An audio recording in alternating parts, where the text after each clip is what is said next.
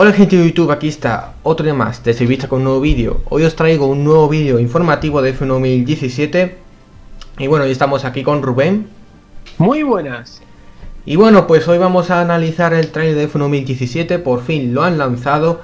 Ya era hora la verdad, eh, ya queda menos de un mes para que salga el juego. Y bueno, pues hay bastantes detalles curiosos eh, con lo que vamos a analizar, así que bueno, sin más dilación, vamos a ello.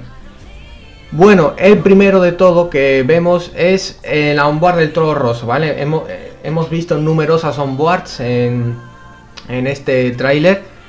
Y bueno, pues primero vemos la de Toro Rosso en el circuito de Rusia. Ya se han firmado todos los acuerdos con todos los equipos y demás. Y bueno, pues hay que decir que este año habrá cámara libre, ¿vale? ¿A qué me refiero con esto? Eh, podrás personalizarla a tu gusto, ¿vale?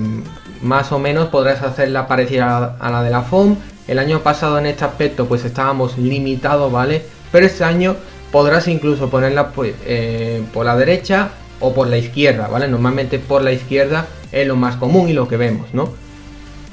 Exactamente, vas a tener una cámara completamente personalizada, puedes poner la oficial de la FOM, además no la puede poner en el juego ya de por defecto, porque obviamente tendrían que pagar más, o a lo mejor la licencia no se lo permite, y lo que observamos también es que, eh, bueno, como ya dijimos en las fotos filtradas, que no está la serigrafía actual, no está, está los coches de Australia, en este caso, y que van a meter un parche el día 1, el día 25 de agosto, para poner los coches de Silverstone. Es lo que va a intentar Codemasters. Si no es el día 25, será el día 26 o el 27, pero durante el primer mes de lanzamiento del juego van a intentar conseguir ese parche. Hombre, en principio debe estar el primer día como fue 2015 y 2016. Yo espero y debe ser que en el primer día tengamos los coches de ahora, no los de Australia, que debería ser así. Bueno, luego vemos también la onboard del Red Bull, ¿vale? Este año el Red Bull ya sabéis que es un coche muy delgado y demás. Y bueno, poco más que decir, ya también se mostró un poco en, un, en el gameplay entre comillas que sacaron, que yo sigo pensando, y yo creo que Rubén también, que fueron simples cinemáticas. Y bueno, pues no están los T-Wing y demás, como ha dicho Rubén, se va a lanzar un parche, pero bueno, lo más curioso es que delante tenemos tres coches luchando, ¿vale? Concretamente dos que están en paralelo. Esto es un detalle interesante porque eh, te confirmó que este año va a haber mejoras en la lucha de uno contra uno en la máquina, ¿vale? Sobre todo en curvas. Y el claro ejemplo este año es que hemos visto a un, William, a un Renault, perdón, que era de Nico Hulkenberg adelantando por el exterior a un Williams. Se lo estaréis viendo ahora mismo en el vídeo. Y bueno, la verdad que esto, si se confirma, si lo vemos en el juego, la verdad es que es un detalle muy bueno y que hacía falta, ¿no? Exactamente, yo pienso que Fórmula 2017, en cuanto a contenido de la propia temporada en sí, 2017, no hay muchos cambios con 2016, pero si la IA se mejora, es decir, se vuelve como a la de 2015, pero encima la perfeccionas todavía más, puede ser una auténtica gozada. Y ya sabiendo lo del tema también de la inteligencia artificial, el nuevo sistema de dificultad, mm. yo creo que va a estar muy, muy, muy, muy interesante. Ojalá la IA sepa coger y hacerte las contratrazadas, eh, se te sepa andar por el exterior. Vamos, va a estar muy chulo. Luego pasamos ahora ya eh, a la onboard del Ferrari, ¿vale? Vemos ahí a Kimi Raikkonen, que no tiene mucho, mucha importancia, la que vemos luchando con Valtteri Bottas. Eh, que bueno, tiene la aleta de tiburón de pretemporada, ya sabemos. Bueno, también vemos, creo que alguna onboard match que vimos de la temporada oficial, la del Haas se ve un poco, pero bueno, se presencia también, ¿vale? Y yo creo que ya ninguna más de esta temporada de 2017. Yo tampoco creo que, bueno, el tema vamos a decir que se va a poder modificar a tu gusto la cámara, la vamos a poner, la vamos a poder poner igual que pues la cámara oficial, mm. la de la home. Así que yo creo que lo vamos a pasar muy bien. Y luego a mitad de tráiler también meten un poco de tema clásico. Y bueno, pues también se eh, en el tráiler se ha mostrado, como ha dicho ahora mismo Rubén, clásicos, ¿vale? Sobre todo onboards, que también hemos visto, perdón, tenemos la del Renault R26 en la que vemos que no está lo de ti, lo de 1007, ¿vale? era lógico. Está Team Spirit, que era lo que normalmente llevaba ya en la temporada 2006 por la prohibición de tabaco. Y bueno, pues el volante yo creo que está recreado bastante bien, ¿vale? Yo creo que es el mismo. Y bueno, pues vemos delante a un McLaren que creo que es el del 98, porque es plateado y también tiene como algunas zonas negras, que era lo que tenían los laterales. Y bueno, también en la ambientación lo han puesto naranja, ¿vale? Pero no os preocupéis, pero eso es el simple hecho de que lo han querido como poner con una ambientación clásica. Ahí está. Exactamente. Y bueno, en el juego no os preocupéis que no va a ser así, ¿vale? Los gráficos han mejorado. Lo que pasa, habrán modificado el tema del, del tiempo, habrán puesto bueno, el clima soleado y lo habrán puesto de atardecer. escala de tiempo, pues atardecer o amanecer. Ahí está. También vemos la onboard del William, ¿vale? El 92, que bueno, no han puesto la, la de TV, han puesto la centrada porque bueno, en esa época yo creo que había otras onboards y por lo cual no quedaría muy bien en el gameplay o no lo sé. Pero bueno, tenemos también delante a un Willy, al otro Williams que es el del 96, creo que es. Y bueno, pues poco más que decir de esta onboard. Y por último tenemos de los clásicos la onboard del Ferrari, ¿vale? Que yo creo que este es el Ferrari de 2002, ¿vale? Exactamente, ese Ferrari, te lo puedo confirmar, ese Ferrari de 2002. Y bueno, pues es el de la mm, vemos ahí también al Renault en paralelo, el Ferrari de 2007, ¿vale? Y el coche de delante que creo que es el otro McLaren, ¿vale? De 98 y bueno, vamos a poder... Yo creo que el coche de antes, si estás viendo la onboard de 2002, creo que es el Ferrari 2007, luego tenemos el Renault en la parte izquierda y luego el otro Renault. Por cierto, se va a poder correr con dos pilotos de, de, Renault, dos pilotos de cada equipo clásico, así que podemos una parrilla a mejor de 20, 22 pilotos igual que la de la temporada 2017. Ahí está, buena noticia, eso no lo sabía Rubén, gracias por decirlo. Pero bueno, una cosa que yo creo que esto no está bien, ¿vale? Que es que en online no va a haber rendimiento equitativo en los clásicos. No va a haber, eh, y eh, lo han confirmado será el rendimiento real, por lo cual el McLaren del 88 no va a servir no va a servir de nada en el online, ¿no? Contra, por ejemplo, un Ferrari de 2004. Exactamente, ese es uno de los problemas, uno de los puntos negativos que tenemos sobre el apartado clásico, aunque Codemasters Formula 1 va a permitir que pongas una parrilla entera del mismo coche, por ejemplo, 20 McLaren del 88 para tener el mismo rendimiento, pero yo también vería factible que en un futuro parche pudieran poner todos los coches fueran equitativos. Y bueno, pues eh, ya hablando de la temporada 2017, ¿vale? Eh, se han mostrado también nuevas cinemáticas en el podio. Van a ser un poco más variadas respecto con 2016, ¿vale? 2015 que eran exactamente las mismas. Y yo creo que hacía falta ya, la verdad.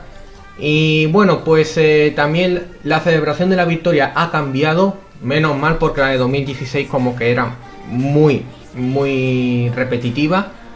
Pero bueno, ya dejando un poco de lado esto, pues eh, se ha anunciado un detalle curioso, que la verdad que está bastante bien, que es carrera nocturna en Mónaco, ¿vale? Em, vas a poder correr de día, o de noche, ¿vale? Es un detalle que la verdad es que, oye, está bastante bien, que es cierto que estaban proyectar, sí, pero oye, que está bien el, el detalle de incluirlo, ¿no? Y que, bueno, va a ser divertido.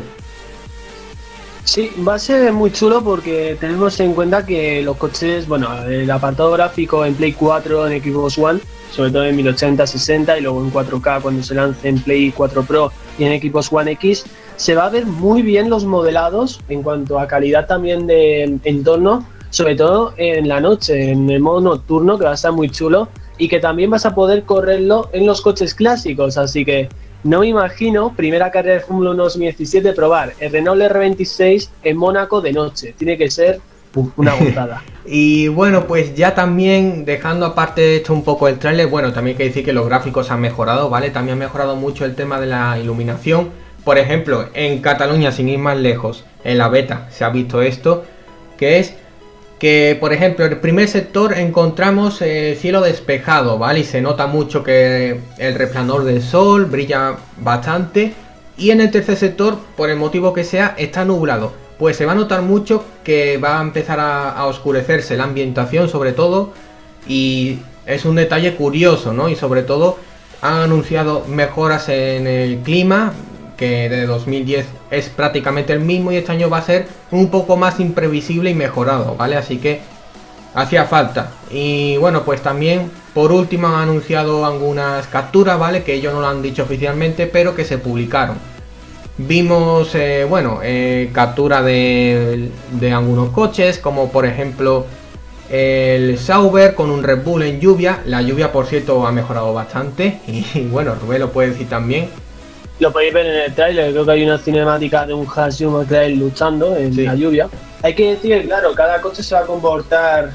Por ejemplo, el McLaren se ha visto en el trailer que sufre bastante las rectas, pues vemos que ataca a un Williams, ataca a un Haas, pero luego en lluvia, al tener el chasis mucha más importancia, el Haas, el Williams empiezan a perder bastante terreno y el McLaren los llega a alcanzar y a mm. adelantar. También vemos y luego también otro detalle que no ha dicho Sebi es la ceremonia de podio que el tema de las caras se han cambiado y se ha mejorado bastante con respecto a 2016, que decíamos todos que tenían bastante, bueno, que no eran caras de 4, ahora parece que se parecen un poquito más, pero se nota que por fin las caras han mejorado hmm, un poco. Es verdad que siguen siendo mejorables, pero bueno, ya van mejorando.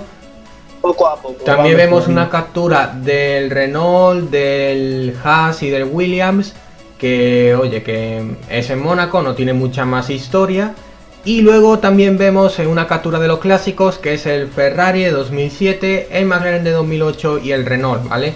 Y luego también se ve por ahí detrás un Red Bull, creo que es. Y el coche blanco detrás es un William, ¿vale? Yo creo que seguramente es un William, no, hemos leído por ahí que es un Brown, no. El Brown no va a estar en el juego de salida, en un DLC no se sabrá. Y bueno, pues lo más curioso, aunque Rubén esto lo enseñó ya, yo no hice vídeo sobre ello, que es que se ha confirmado que este hombre que estáis viendo en captura es el encargado, es el propietario de los coches clásicos, ¿vale? que te invitará a correr con ellos.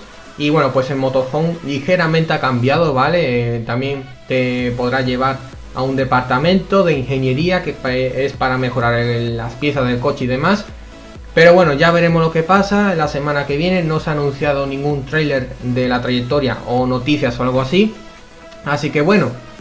Esto se irá anunciando, quedando, pues ahora viene el parón de verano, después del Gran. Premio de Hungría, viene un parón, primero hay unos test, pero luego hay un parón de 3-4 semanas, hasta el Gran Premio de Spa, que justo coincide con la fecha de juego, de salida, que justo se va a lanzar el mismo día que comienza el fin de semana del Gran Premio de Spa, pero posiblemente en unas dos semanas tengamos información, por ejemplo, la semana que viene el modo trayectoria.